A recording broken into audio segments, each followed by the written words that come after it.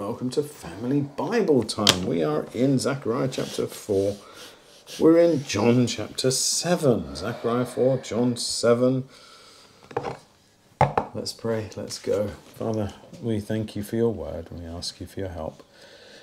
We need you, Lord, all the time. We need you. Please open our eyes to see wonderful things in your law. Forgive us our sins. Teach us the truth. Teach us your ways, we pray. For Jesus' sake. Amen. All right, the angel of the Lord and the angel who talked to me. Sorry, let me just restart that. The angel and the angel who talked with me came again and woke me, like a man who is awakened out of his sleep. And you say, well, what, what's he sleeping for? Maybe he had the same kind of exhaustion that Daniel had after having some of his visions. Mm. And he said to me, What do you see? And I said, um, Behold, I, I, I see, and behold, a lampstand all of gold with a bowl on top of it, and seven lamps on it, with seven lips on each of the lamps that are on the top of it. And there were two there are two olive trees by it, one on the right of the bowl and the other on its left. And I said to the angel who talked with me, what are these, my lord? now that's a reasonable question, mm. isn't it? Can you figure it out? Mm-mm. It's not actually the easiest of the visions. It is possible, but it's not the easiest of the visions to kind of figure out.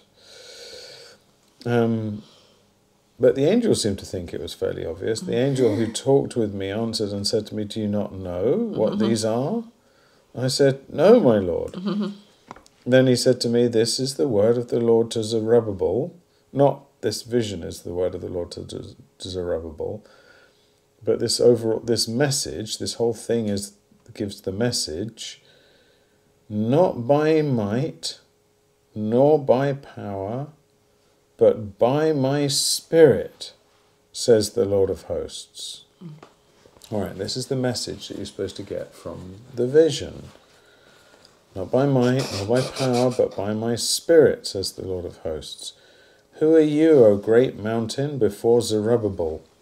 You shall become before Zerubbabel you shall become a plain, and he shall bring forward the top stones amid shouts of grace, grace to it.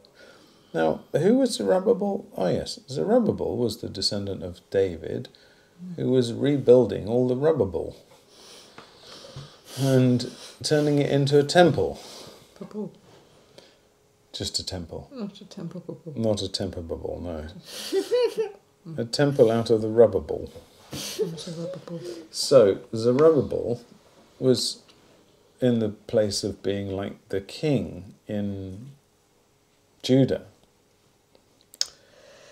And Verse 8 Then the word of the Lord came to me, saying, The hands of Zerubbabel have laid the foundation of this house, his hands shall also complete it. Then you will know that the Lord of hosts has sent me to you. Who's me? Hmm, the angel. For whoever has despised the day of small things shall rejoice and shall see the plumb line in the hand of Zerubbabel. What's a plumb line?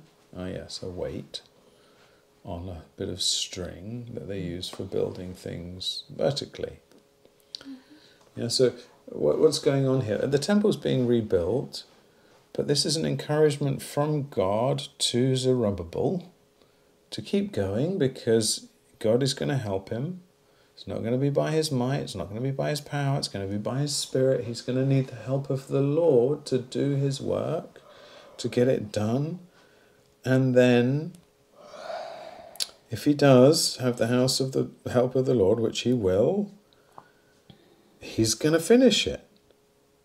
And the people who previously were grieving over the tiny size of it, mm. they, they and, and how small it all was compared to before, they're going to see, praise the Lord, He's helping us. Mm. So, that's the message. Now, um, here comes the interpretation. because he's waited till now to give an interpretation of the vision. These seven are the eyes of the Lord, which range throughout through the whole earth. Then I said to him, so, so that's the lamps, right? The eyes of the Lord. And then I said to him, What are the two olive trees on the right and the left of the lampstand? And a second time I answered and said to him, What are these two branches of the olive trees which are beside the two golden pipes, from which the golden oil is poured out? He said to me, Do you not know what these are? I said, No, my lord. Then he said, These are the two anointed ones who stand by the Lord of the, of the whole earth. And you're right. Oh, good. Well, that's clear then. oh, or maybe you could do it thinking about it a bit more like me. Oh, this this vision is interesting, isn't it? So, the, what is it? It's a lampstand, seven branches, but with a bo- like the lamp in the temple, right? Mm-hmm. But this one has a big bowl on top. What's the bowl for? It's full of oil. And the oil is being is just channeled down into the lamps to keep them burning. So it's like this is like a lampstand that never runs out of oil. And then there's the trees. And the two trees are olive trees, but they're supplying oil. They've got these branches and, and there's these little pipes, and they're supplying the oil to the bowl. So this is just like a never-ending supply of oil for the lamps. This is a lamp that's never going to go out. Now, the point behind the whole picture is not by might, not by power, but by my spirit, says the Lord. So it's God, it's a picture of God supplying everything that's needed God's eyes are on the whole thing, seven seven lamps. God sees everything, but the whole business of the light, the provision of light, understanding, knowledge, um, searching, sight of God, all of that, all of that, the provision for it is all constant, it's never going to run out, all supplied by God. It's kind of like a perpetual energy source, never running out, battery that never runs out. Now, um, the whole message is is, is going to be um, this, this is going to be accomplished by the Spirit. However, there are these details. The two olive trees, who are they? then comes the answer. These are the two anointed ones who stand by the Lord of the whole earth. You're like, which two anointed ones? What's he mean? Hmm, interesting. The word anointed ones means sons of oil or sons of new oil and would perhaps refer, maybe it's best to interpret it as referring to the two offices one of the office of priest they, the priest stood before the Lord to minister for the people, and one the office of the king. The king was another anointed person, wasn't he? So that remember they anointed David and they anointed Saul and they anointed the kings. They also anointed the priests. So anointed ones kind of makes sense for those two offices of priest and king. And you say, why the two offices not the well? None of the individuals kind of fit this description. But the, the office of king and the office of priest was one way that the Lord worked by the power of the Spirit with the people of Israel, the people of Judah in days gone by. He, he employed, the Spirit of God was upon the king to help exercise God's authority over the people. So the king was kind of imposing God's authority on the people when he did it right. And the priest, well, the priests were anointed to be able to intercede with God for the people to keep the relationship going. You would say, keep it all flowing. So there were these two offices, priest and king, which were needed in order for God to be able to interact and bless his people. And that was the Old Testament. Of course, the days were going to come when there was going to be one king who was also a priest. Jesus is about Jesus it says you're a priest forever according to the order of Melchizedek. Mm. So the so Jesus would be the king and priest and prophet as well. But Jesus would fulfill both of those offices. And so ultimately, of course, this all points to the Messiah. Um, now, if you want a detailed explanation of all of that, you can go to the MacArthur Old Testament commentary that I've been recommending on Zechariah, and it's really good, um, really detailed. MacArthur Study Bible has it in brief, but I, I found it too brief to be able to just kind of get it all in, straight in my head. So that's why sometimes you just got to dig deeper. Mm. Um, okay, that was Zechariah chapter 7. No, it wasn't. That was Zechariah chapter 4. Now we're in John chapter 7. All right? John chapter 7. Now, John chapter 7 starts with the words after, after this. this. And you say, after what? Well, after John chapter 6, of course, dummy. But after the events of John chapter 6, if you go back to John chapter 6 and um, verse 4 in John chapter 6, it says, Now the Passover feast the feast of the Jews was at hand. Mm-hmm. Hmm, okay.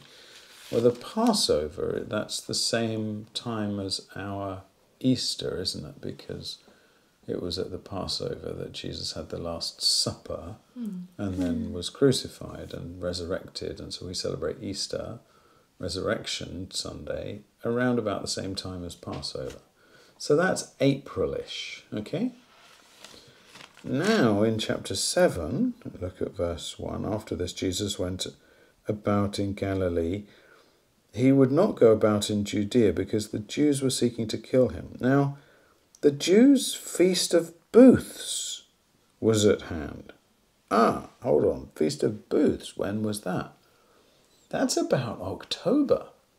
Hmm. So there's a like seven month gap in between chapter 6 and chapter 7, hmm. which is Always interesting, isn't it? Mind the gap. um, so his brother said to him, Leave here and go to Judea, that your disciples also may see the works that you're doing. For no one works in secret if he seeks to be known openly. If you, if you do these things, show yourself to the world. Now, do you think his brothers had his best interests at heart? Or maybe their own? Hmm. Look at verse 5. For not even his brothers believed in him. Now that's painful, isn't it?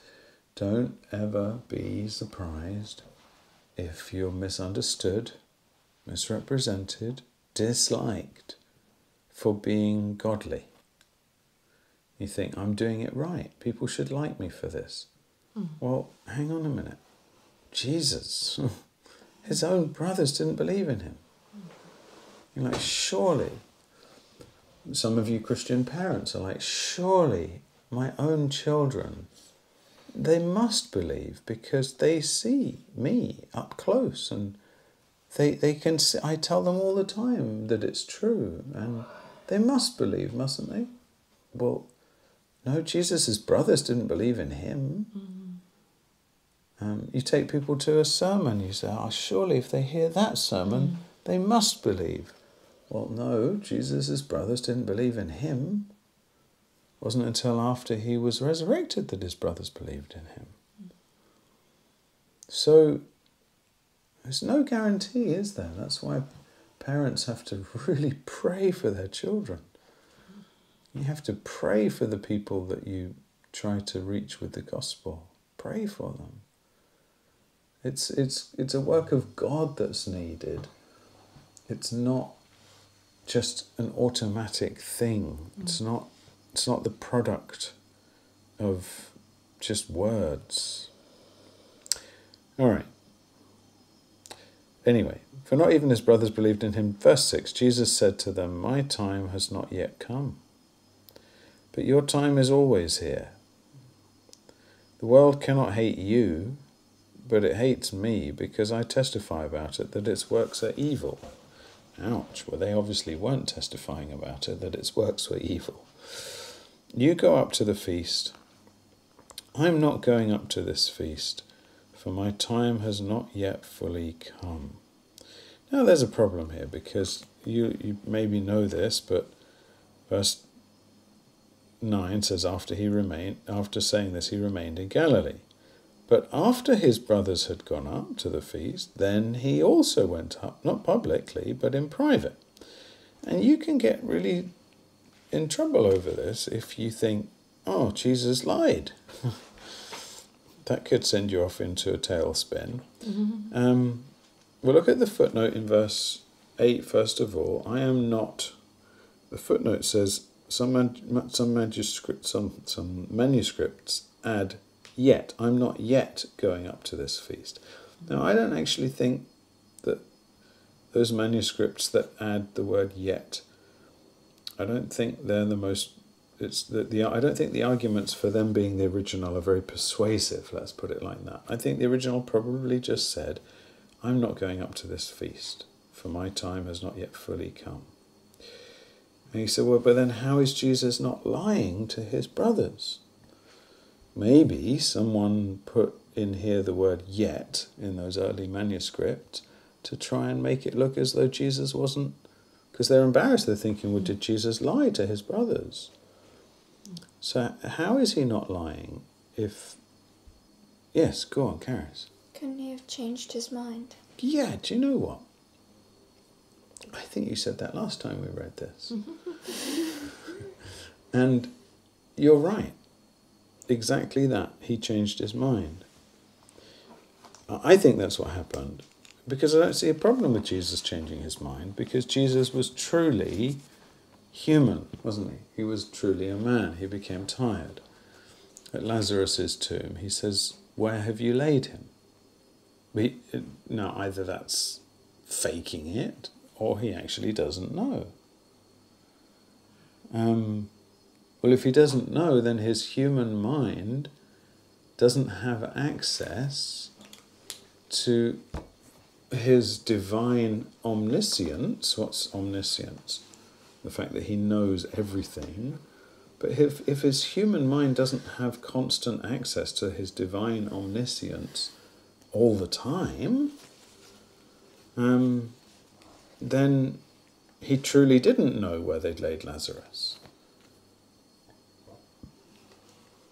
If his human mind didn't have access to his divine omniscience all the time, then it's genuine when, he, when it says he grew in wisdom. And he had to learn the language as a baby. And he had to learn the scriptures as a child. And when he debated and gave answers to the, to the teachers of the law in the temple, it wasn't a fake. He wasn't like playing at being a child. He was a child. And they were amazed at his answers. he was a perfect child. He wasn't sinner. Sin hadn't corrupted his his thinking in the same way. But he was still a human being and growing and learning and mm. remembering things. I think that's really helpful because also that would include decisions. So Jesus at this point um, is saying, no, he's, he's, if you imagine Jesus living in, in relationship with his Father by prayer, the way we have to live in relationship with God, but without sin, without failure, he's depending on God constantly. He's waiting on the Lord and here's his decision at this point. You go up to the feast. I am not going up to this feast, for my time has not yet fully come. He's talking about the time for him to be revealed um, to Israel as the Messiah.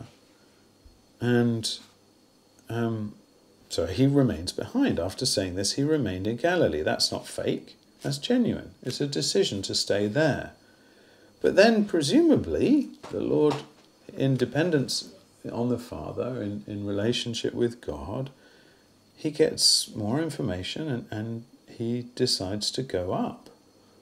Why? Because he's presumably had more revelation from the Father to say, yes, okay, now is the time to go up. So, verse 10 But after his brothers had gone up to the feast, then he also went up. Not privately, not publicly, but in private. Okay, so does that help solve that, that difficulty? I think that's legit. I don't have a problem with it. I think the only way you can have a problem with it is if you've if you've got a kind of predisposition to want it to be a problem, and people do that. Mm. Anyway, verse 11. The Jews were looking for him at the feast and were saying, Where is he? And there was much muttering about him among the people. While some said, He's a good man, others said, No, he's leading the people astray. Yet for fear of the Jews, no one spoke openly of him. About the middle of the feast, Jesus went up into the temple and began teaching. The Jews therefore marveled, saying, How is it that this man has learning when he's never studied? Now that's interesting. That just meant he'd never been to one of their universities, one of their mm-hmm. rabbinical schools that existed. So Jesus answered them, My teaching is not mine, but his who sent me.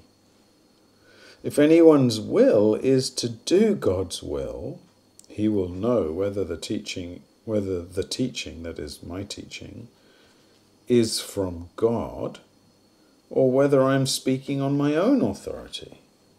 Now that's interesting, isn't it? Because if you do really want to find out the truth, you will, won't you? If you really want to do God's will, you can figure out is Jesus telling the truth or not? Or is he making it up? Anyway, verse 18 the one who speaks on his own authority seeks his own glory. But the one who seeks the glory of him who sent him is true, and in him there is no falsehood. Has not Moses given you the law? Yet none of you keeps the law. Why do you seek to kill me? The crowd answered, You have a demon. Who is seeking to kill you? Jesus answered them, I did one deed, and you all marvel at it. Moses gave you circumcision, not that it is from Moses, but from the fathers. And you circumcise a man on the Sabbath.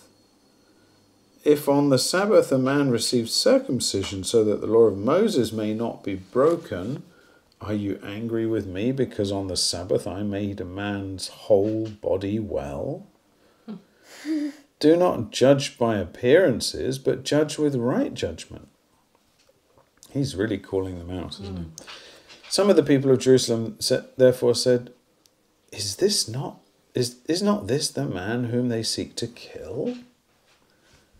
And here he is speaking openly and saying, they say nothing to him. Can it be that the authorities really know that he is the Christ? This is the Christ? But we know where this man comes from. And when the Christ appears, no one will know where he comes from. So Jesus proclaimed as he taught in the temple, You know me, and you know where I come from. But I have not come of my own accord. He who sent me is true, and him you do not know. I know him, for I come from him, and he sent me. So they were seeking to arrest him, but no one laid a hand on him, because his hour had not yet come. Now that's where he started, isn't it? My time has not yet come. His hour had not yet come. Yet many of the people believed in him. They said, When the Christ appears, will he do more signs than this man has done? The Pharisees heard the crowd muttering these things about him. And the chief priests and Pharisees sent officers to arrest him. Jesus then said, I will be with you a little longer, and then I am going to him who sent me. You will seek me, and you will not find me. Where I am, you cannot come. The Jews said to one another, Where does this man intend to go that we will not find him? Does he intend to go to the dispersion among the Greeks and teach the Greeks? What does he mean by saying, You will seek me and you will not find me, and where I am you cannot come? On the last day of the feast, the great day, Jesus stood up and cried out, If anyone thirsts, let him come to me and drink. Whoever believes in me, as the scriptures have has said, as the scripture has said, out of his heart will flow rivers of living water. Now, this he said about the Spirit, whom those who believed in him were to receive. For as yet the Spirit had not been given, because Jesus was not yet glorified. Now, you remember this. So, John 14, 17, we'll get there, but Jesus says to the disciples, The Spirit is with you, but will be in you. And he says, I'm going away in chapter 14. He says, I'm going to, you should be glad that I'm going away because I'm going to send you the Comforter, the Holy Spirit, right, to be with you forever. So, so there's this change. Jesus goes to the Father, but when he goes to the Father, he sends the Spirit. And you know, the Spirit came on the day of Pentecost. Mm. That's when the Spirit fell upon them and they were baptized in the Spirit. And every believer, when you become a believer now, you're baptized in the Spirit. And so you're, the Spirit is upon every believer. In fact, Paul in Romans 8, verse 9 says, If anyone does not have the Spirit of Christ, you don't belong to him. He's none of his. So you, you, you can't say any Christian does not have the Spirit. Every Christian has been baptized in the Spirit, immersed in the Spirit the Spirit lives in us. Paul said to the Corinthians, Your body is the temple of the Holy Spirit who is in you. In you. So every Christian has the Holy Spirit in you. John calls the Spirit the anointing that we have from the Father. And just as we have an anointing, it's just like every Christian has it. So this is interesting because as yet the Spirit had not been given because Jesus was not yet glorified. So Jesus needed to die, to ascend into heaven, and to be glorified, and then, presumably after those days, send the Spirit at Pentecost. And that was when the Spirit was given. All right, verse 40. And when they heard these words, some of the people said, This really is the prophet. Others said, This is the Christ. But some said, is the Christ to come from Galilee? Has not the scripture said that the Christ comes from the offspring of David and comes from Bethlehem, the village where David was?